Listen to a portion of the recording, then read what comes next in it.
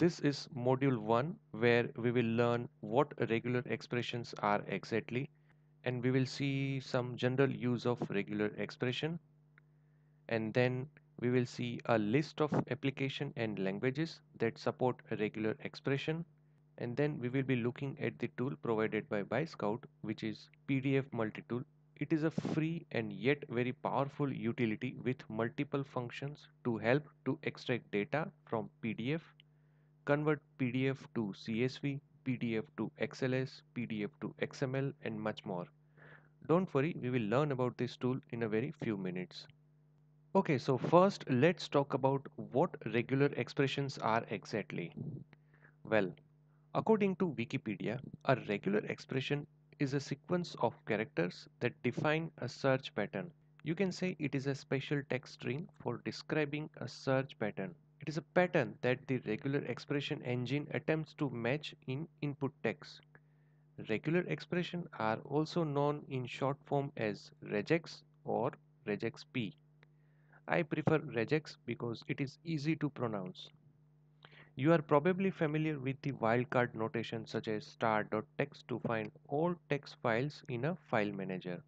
But you can do much more with regular expressions. Yes, a basic understanding of regular expression will make your life a whole lot easier when you do.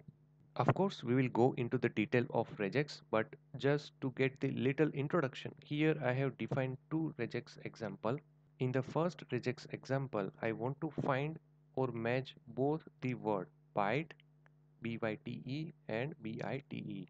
It means it will find both the spellings of the word byte in one operation instead of two. And this is how it differs from normal string search. And in the second regex, which is an example of complex pattern, I want to matching a password with some rules like password must be 6 to 12 characters in length. It must have at least one uppercase letter and it must have one lowercase letter, etc. etc. Don't worry if you are confused with this example. Any non-trivial regex looks ugly to anybody who are not familiar with them. But with this course, I'm sure you will soon be able to craft your own regular expression like you have never done anything else.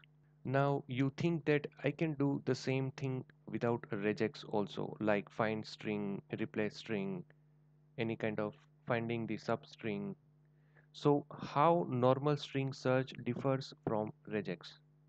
Well, generally string searching involves one source string from which we want to find and another string which we want to find from the source string. Let's call it the find word. Now the goal is to find one or more occurrences of the find word within the source string.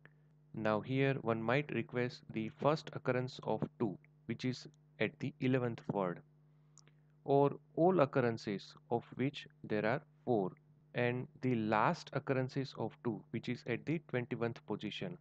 Though there are many algorithms for string search but in a simple way it works like this check the occurrences of the find word one by one in nested loops.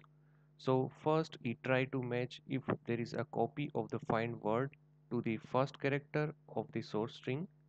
If not, then it try to match if there is a copy of find word to the second character.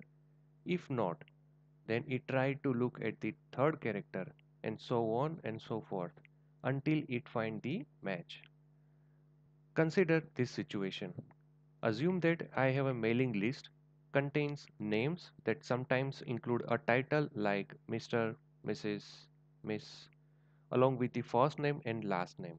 Now I want to replace or remove that title with the empty string. So in normal case, I need to use 3 times replace function to replace each occurrences of title. But if I use regular expression then this code now looks like this. This regular expression pattern matches any occurrences of Mr.